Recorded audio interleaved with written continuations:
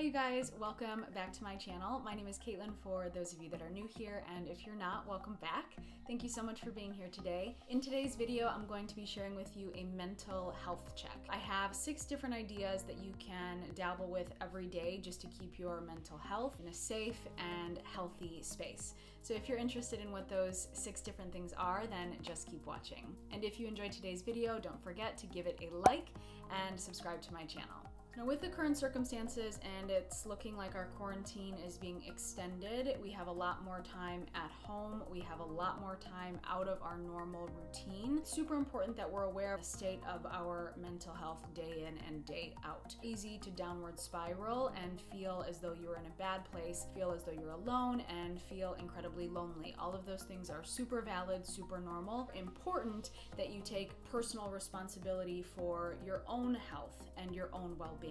First thing that I'd like to share with you today is being aware of your screen time. I'm super guilty of this myself. There are days when I know that I'm on social media a lot or when I hop on my phone as soon as I'm waking up in the morning. And when I start my day with social media, I do just find that my headspace is in kind of a foggy comparison, downward spiral kind of thing, just depending on who you follow and things of that nature. So being aware of the amount of screen time, crucial. That's a little bit different for everybody, but just be aware of when are you implementing social media breaks and how long are those social media breaks lasting? The second thing for a mental health check is fueling your body with nutrient dense food. So instead of eating processed snacks or processed foods, eating whole foods as much as possible. For me personally, I do follow a plant based diet, eating as much whole foods as you possibly can. When you're fueling your body with foods that are void of nutrients and they're empty calories, the state of the gut, it has a lot to do with the state of the headspace. So if you're fueling your body with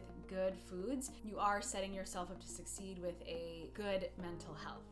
And number three of our mental health check is moving your body. During the quarantine, I right now have started running. Prior to the quarantine, I never, ever liked running, but I'm starting to grow a little bit of enjoyment with the activity. I'm also doing an eight week workout program that I had bought years ago and just never had the time to get around to it. So I'm doing that right now. And then I'm also doing my yoga practice and I'm stretching regularly. With you, you would want to focus on what is most appropriate in the given day. What your body is craving and what your body wants, that will fluctuate day to day, but moving your body, sweating if you can, at least once a day, it's incredible for your mental health and puts you in a really good space for the rest of the day. Number four of our mental health check is meditation. There's so many apps that you can do for guided meditations. I personally have a number of videos where I guide you through different meditations, but getting still, being still for a couple of minutes a day, slowing down and turning inward, it calms your mind, it calms your nervous system, and it brings you into more of this neutral ground. So you're not in fight or flight, you're not fighting off a saber-toothed tiger, and you're not in the freeze state. Our meditation practice, it takes us out of the fight or flight mode where we're in high stress and there's a lot of cortisol being released into the body. It brings us into a neutral playing field. So this way, when the mind is calm, the body is calm, and we're able to breathe and stay in that state of neutrality.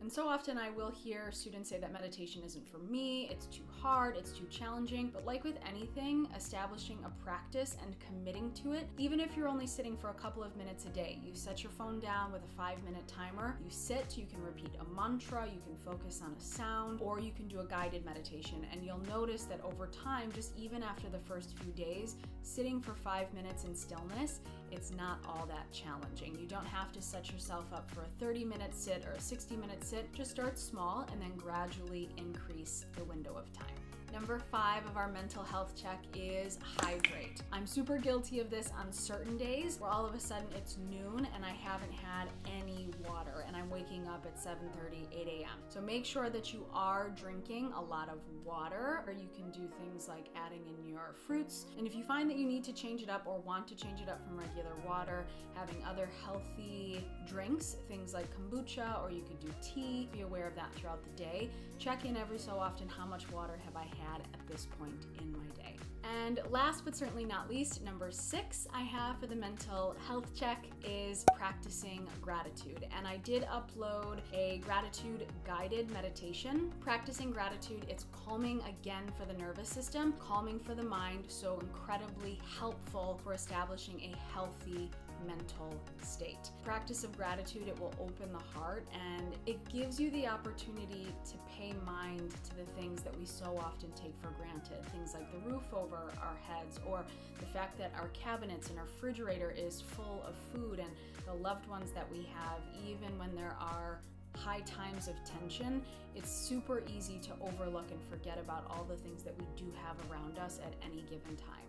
So, number six is to practice gratitude. And that's it. Those are the six things that I have for our mental health check in. I do hope that you enjoyed today's video. I know that during this time, or quite frankly, any time, it's easy to let our mental health kind of slip to the wayside, putting the physical body first, putting others first. But with mental health, it's really important that you put yourself first and you check in with what's happening. Be kind to yourself, be kind to others, and I will see you guys in my next video.